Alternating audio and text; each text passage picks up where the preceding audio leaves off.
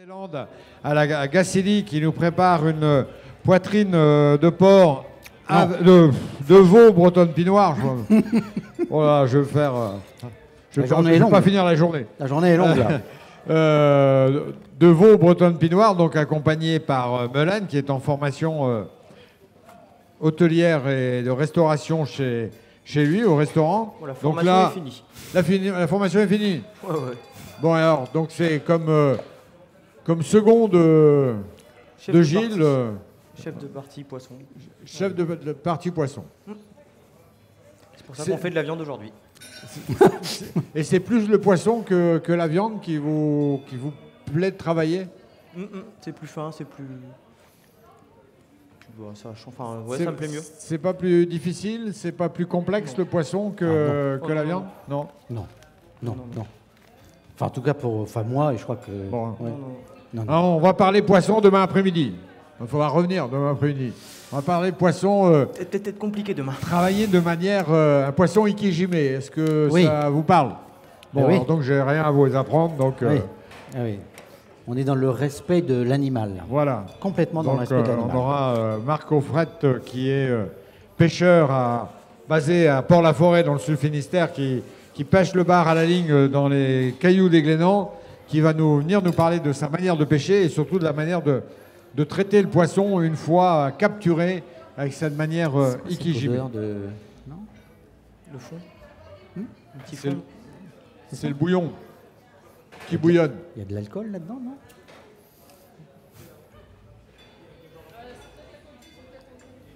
Ah. Bon.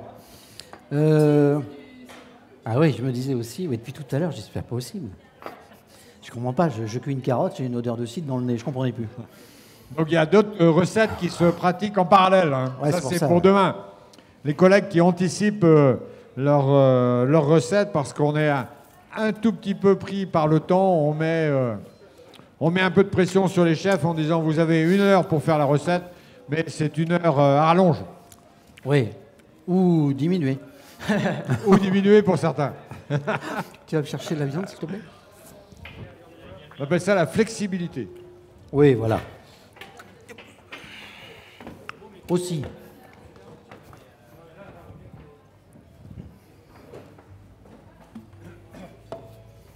Donc ça y est, elles sont... euh, elles- là, elles étaient juste pour, pour réchauffer. Ah ouais, c'était vraiment une marinade minute, donc on va, les, on va encore les, les dédoubler là. Bon, c'est là qu'on voit, et pour revenir à nos propos tout à l'heure avec euh, Evan euh, Hatzenberger, qu'il faut vraiment des, des couteaux qui coupent. C'est clair.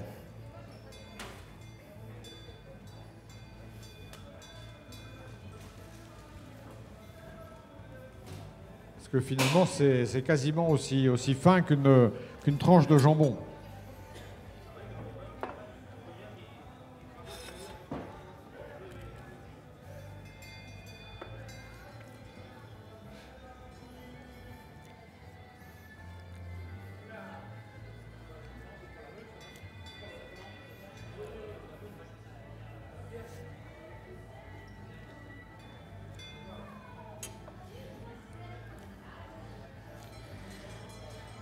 Tu veux commencer à les garnir, s'il te plaît?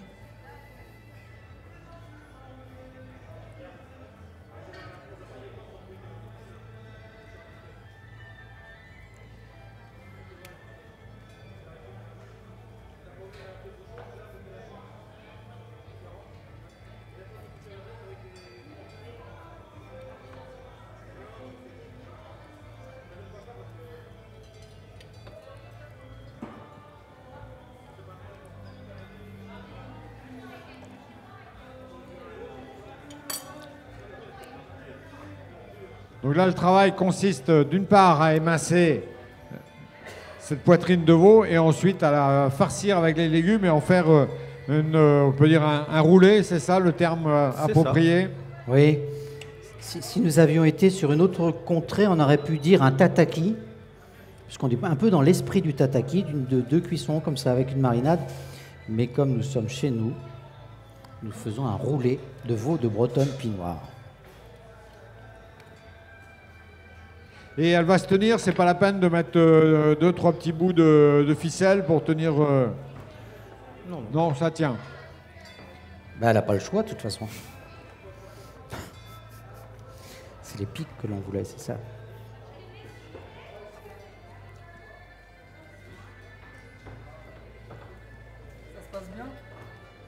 Très très Ça, bien. se- ça se passe bien. Impeccable.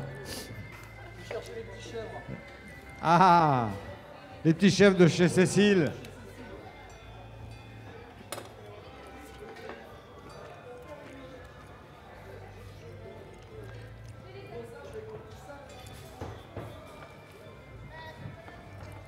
On va mettre de la fleur de sel dessus, hein, parce que ça. Donc Gilles Le Gallès de la Grée des Landes et puis euh, Melaine hein, qui nous euh, prépare euh, ces roulés de poitrine de veau bretonne pinoire farcis de, de légumes qui viennent de chez euh, Olivier Durand qui est maraîcher aux Sorinières euh, près de Nantes avec euh, carottes, Céleri. céleri et poireaux. Et puis tout à l'heure, il y aura, euh, qui va rentrer en scène, c'est de la rhubarbe et de, du Concombre. concombre.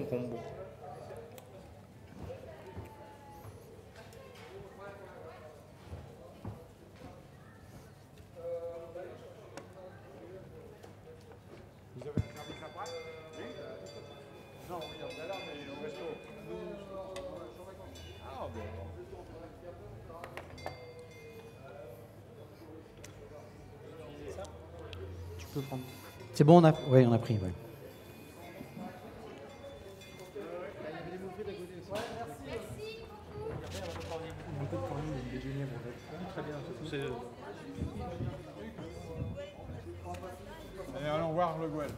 On va voir le Gouel, le Gouel de ce matin. Hugues, Kenavo, Avéchal, merci. Au plaisir.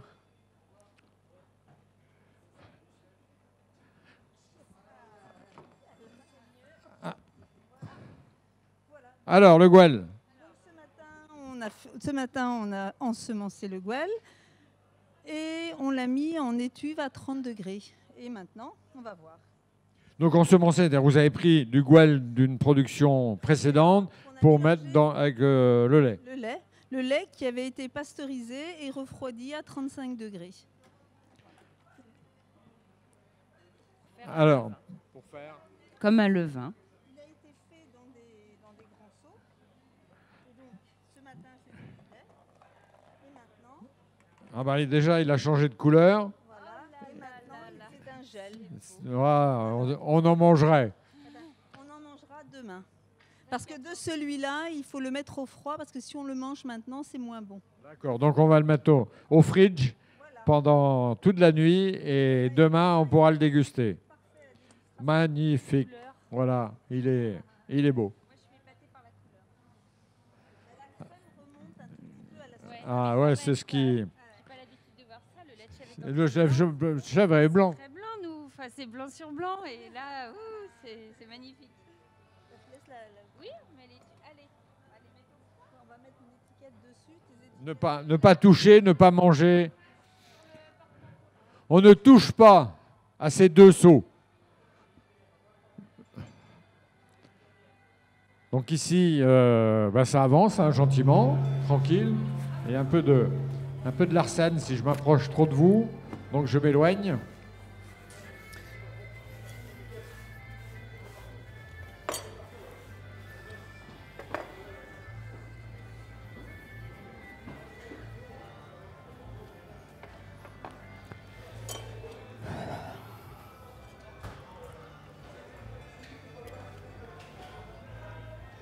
Voir l'assaisonnement, là, comment c'est? Ouais. Mm.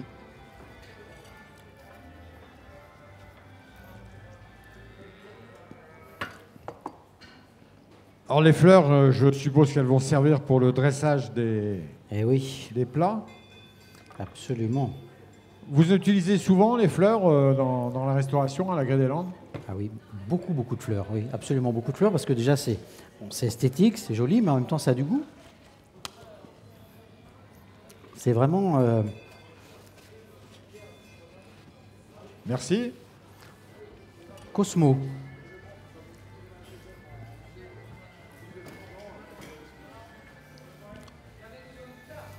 Et des herbes que je suis allé cueillir ce matin, on dirait du trèfle. On dirait du trèfle. Eh bien, ça n'a pas du tout le goût de trèfle. C'est un goût d'oseille. C'est de l'oxalis. L'oxalis. Oxalis. Et ça pousse dans tous les jardins. Bah oui, on dit que ça, c'est une mauvaise herbe. Non, c'est une herbe au mauvais endroit peut-être, mais surtout pas une mauvaise herbe. L'oseille sauvage. Oui. C'est magnifique ça aussi.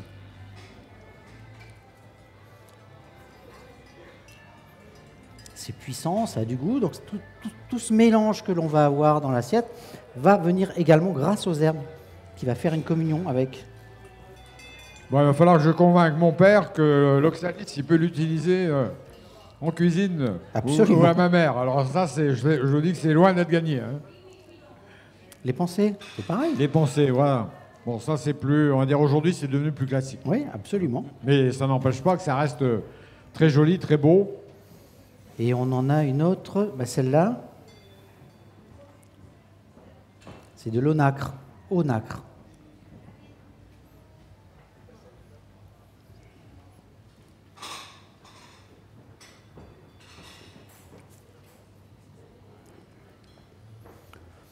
Euh, on Ah va mettre la viande au four un petit peu là.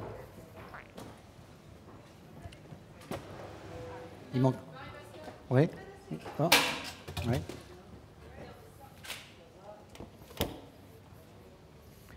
Ça, on va peut-être le remettre au frais, non? Ça sera mieux au frais, ça.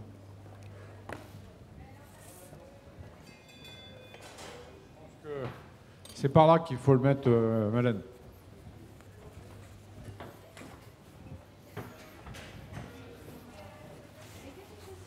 Au revoir et euh, à bientôt. Et merci encore d'être venu Merci. participer à cet atelier.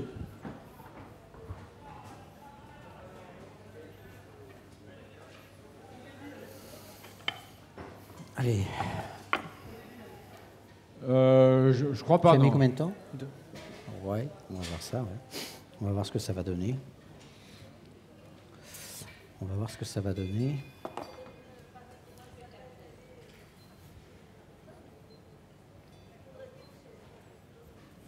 Elle est cachée où mon oseille? Ah ben là, voilà. Toujours.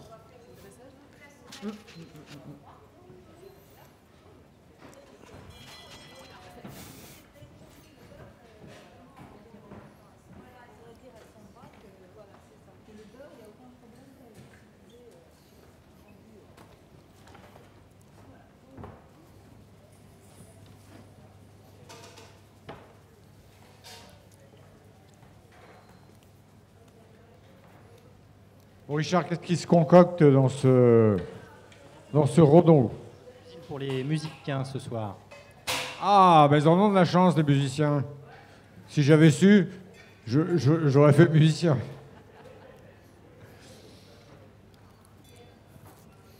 Mais musicien pour la fête de la vache nantaise et, et des races locales. Pas n'importe quel type de, de musicien.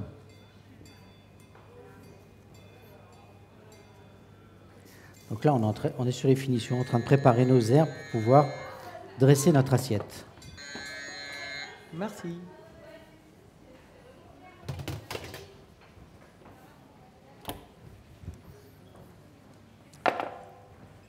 Les gens dans le restaurant sont pas un peu surpris, les clients, quand euh, vous leur présentez des, des- des assiettes avec. euh, Enfin, surpris, sûrement, agréablement surpris, mais il n'y a pas de remarques en disant Ouais, c'est quoi ça, mettre de- des fleurs, des herbes euh. Non, il n'y a, pas de- il a pas de rejet. il Y a... Non, parce que déjà, on leur explique. On leur explique tout ça. Et puis, euh, quand, euh, quand ils goûtent, effectivement, et puis ils comprennent l'utilité de, de ça. C'est pas que de l'esthétique, en fait. hein. On n'est pas que sur de l'esthétique. On, on a vraiment du. On a un goût. On a goûté là toutes ces plantes là, Oui, tout à l'heure. Elles ont toutes un goût Mais particulier. dans le premier abord, quand vous leur présentez Ah l'assiette, euh, C'est vert.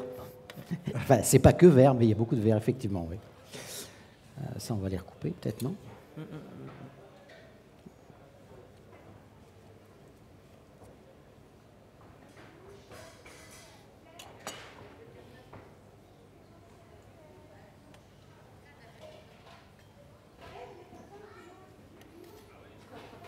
Bon, allez.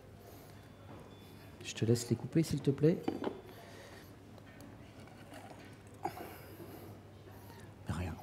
On, a de charmantes personnes, on va faire ça devant elles, voyons. N'est-ce pas? Qu'en pensez-vous? Allez, regardez Allez. bien. Oh, Je mets les couteaux magnifiques ici, là. Attention de vous Absolument. couper parce que ce sont des couteaux qui coupent. Ils sont absolument splendides.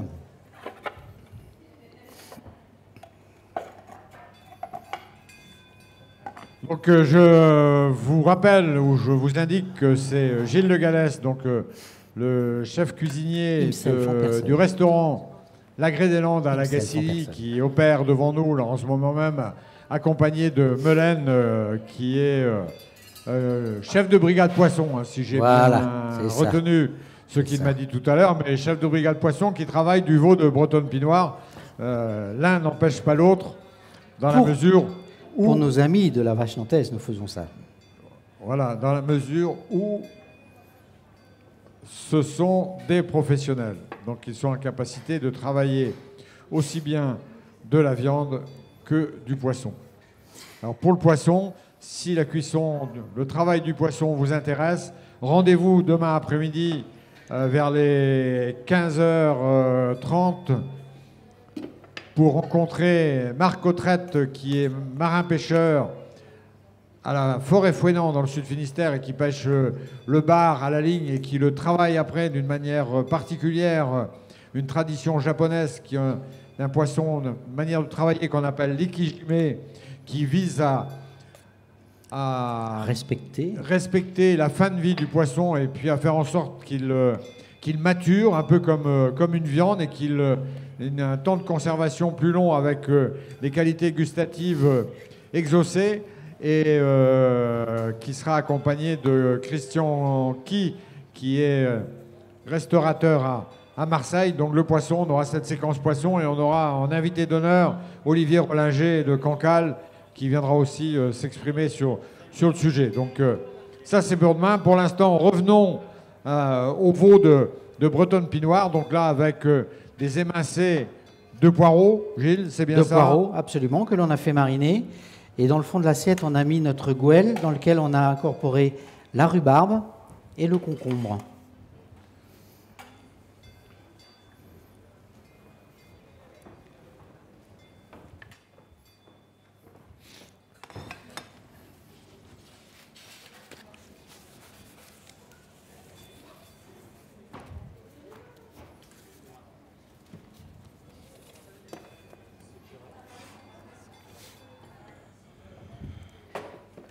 Donc euh, voilà les- la poitrine de veau qui a été farcie avec euh, des légumes euh, taillés en julienne, donc en l'occurrence carottes, céleri Et puis euh, Poireaux, poireaux. qui ont été très peu cuits.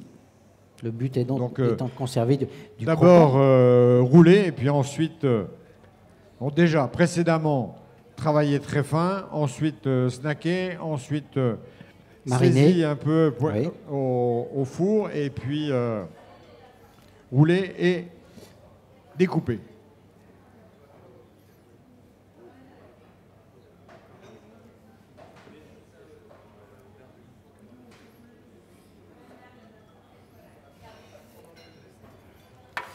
Voilà pour euh, la viande et puis euh, en touche finale Les fleurs et puis euh, quelques herbes aromatiques qui viennent du jardin, du potager, du jardin de la Grée des Landes, puisque, comme nous l'a expliqué euh, Gilles en début de cet atelier, euh, les proportions dans le restaurant, c'est 80% de végétaux et 20% d'origine animale.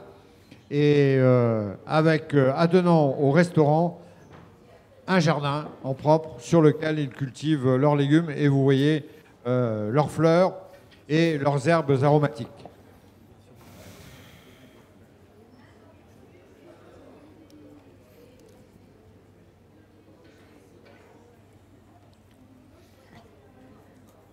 On n'a pas, on a oublié de la couper celle-là. hein. Et hop, donc du coup, on, on voit tout de suite cette euh, féerie de, de couleurs, ça, ça claque.